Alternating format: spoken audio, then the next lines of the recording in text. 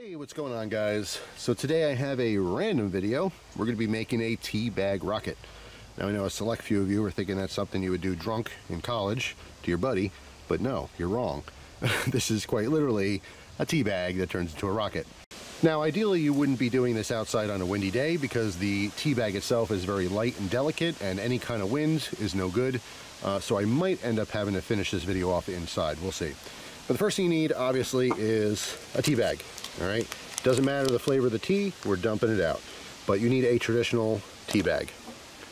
So we're gonna go ahead and take the tea bag out. All right. We're going to make a cut right across the top, a square cut. All right, so this is a regular old tea bag. I know sometimes you get fancy ones with all kinds of different shapes. Not gonna use those. We're doing a square cut right at the shoulder here. All right, so see how these are folded in? So you're doing a cut from here right across. All right, we can do that on top of here. Just straight across. Just like that. Now as far as the tea, doesn't matter. We're dumping it out. We just want the tea bag. Let's get rid of this garbage. All right, so we have our tea bag, which essentially is now just a rectangle we're going to open it up. All right and we're going to fold it the opposite way. So you see how it's creased on both sides? You want to fold it in just like that once.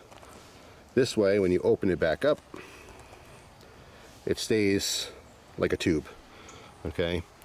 All right we're going to rest that on a table or a flat area. All right let's sit upright. And again this is where the no wind comes in. And then we're going to light the top. And what's going to happen is it's going to burn down and with science when it gets down to the bottom because of heat and energy and who knows what uh, it's going to take off like a rocket. It's going to go like that. So what we're going to do is I'm going to make sure this is upright. All right grab my lighter. So you have to wait for the wind. All right so I'm off the tripod here so we could follow it. All you want to do is light the end. Once it gets to the bottom oh no no. Okay take two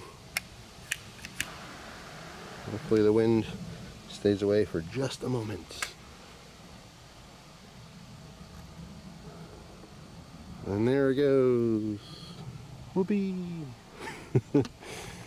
and it completely burns, so there's no uh, chance of it, you know, flying somewhere else and uh, catching anything on fire.